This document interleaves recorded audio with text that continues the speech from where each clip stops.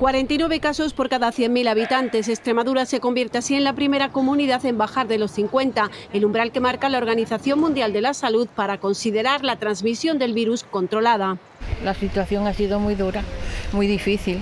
Tanto que el 21 de enero se alcanzaban los 1.467 casos de incidencia, la mayor de España. Conocidos y familiares que están en el hospital o desgraciadamente hemos perdido a los padres de algunos amigos Así que se cerraron todas las localidades. En las de más de 3.000 habitantes solo estuvo abierto lo esencial. El toque de queda se adelantó a las 10 de la noche. Ha sido un trabajo progresivo, un trabajo muy de conjunto, de conjunto, muy multidisciplinar y extendido por toda la comunidad autónoma. Durante cinco semanas, luego una desescalada muy lenta, apertura primero hasta las 6, luego hasta las 10, limitaciones de aforo. Cumplir lo que nos dicen, los horarios y ya está, si hay que estar a las 10 como si hay que estar a las 11. Es lo que ha permitido flexibilizar medidas a partir de hoy. Toque de queda a las 11, terrazas al 75%, mesas de 6. Un poquito de prudencia, un poquito de, de, de cabeza más bien, para que no volvamos para atrás. Cualquier incidencia por encima de 25 supone un riesgo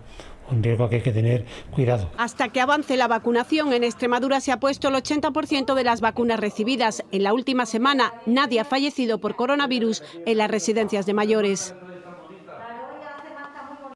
Estos son los territorios que continúan técnicamente en situación de riesgo extremo con incidencias superiores a los 250 casos.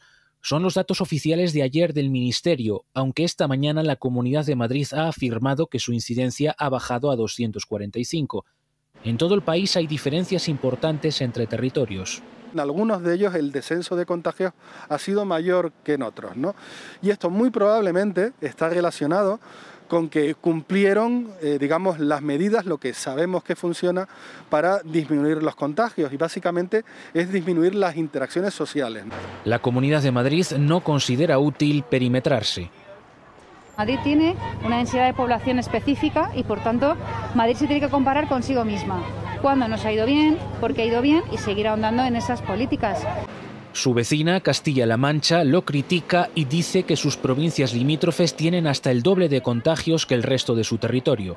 Su cercanía y su interacción social, como es el caso, lógicamente hace que la incidencia acumulada de esas zonas también aumente. Pues la, la madera más caliente es la que está más cerca del fuego, evidentemente. En Melilla, a la cabeza de incidencia, sus autoridades se explican así.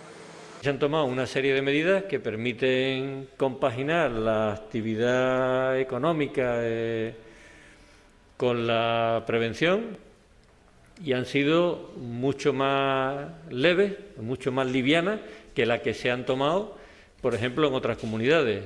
En Ceuta justifican sus malos datos por un brote en un centro de menores.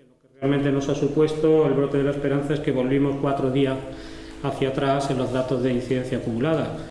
Los epidemiólogos insisten en que en cualquier territorio las medidas de prevención deben mantenerse para seguir bajando la incidencia de manera global.